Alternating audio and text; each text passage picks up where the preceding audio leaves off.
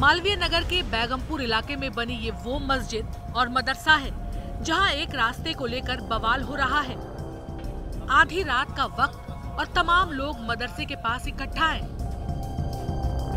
दरअसल यहाँ शुक्रवार की शाम मदरसे के पास एक शख्स पर पथराव होता है, जिसमें कई लोग घायल हो जाते हैं। हैरानी की बात यह है कि ये पथराव पुलिस की मौजूदगी में होता है।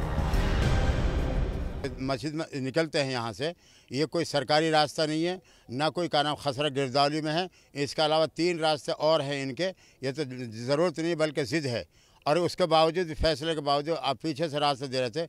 जो रास्ता डीसीपी ने तैयार तय हुआ था, रोड मैप बना था, उसको हमने तैयार कर दिया था। फिर ये इन्होंने बेईमानी कर दी कि हमें नहीं चाहिए, हमें दूसरा चाहिए। उसमें पाँच छः कमरे पक्के बने हुए हैं। अब उनको तोड़ना भी है, उनको शिफ्ट करना भी है।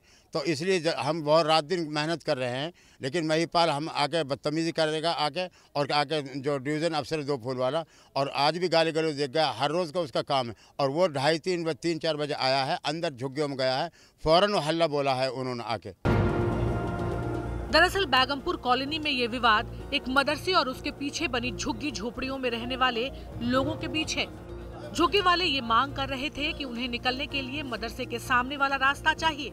जबकि मदरसे वालों का ये कहना है कि वो रास्ता दे चुके हैं। बावजूद इसके, कुछ शरारती तत्व यहाँ आए दिन हंगामा करते हैं, पथराव करते हैं।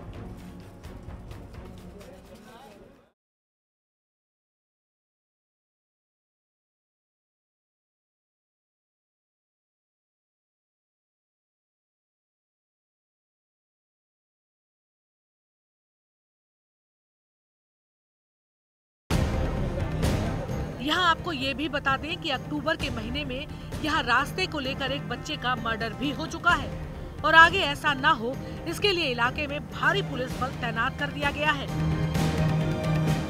दिल्ली तक के वीडियोस को देखने के लिए चैनल सब्सक्राइब करें और बेल आइकन का बटन दबाएँ।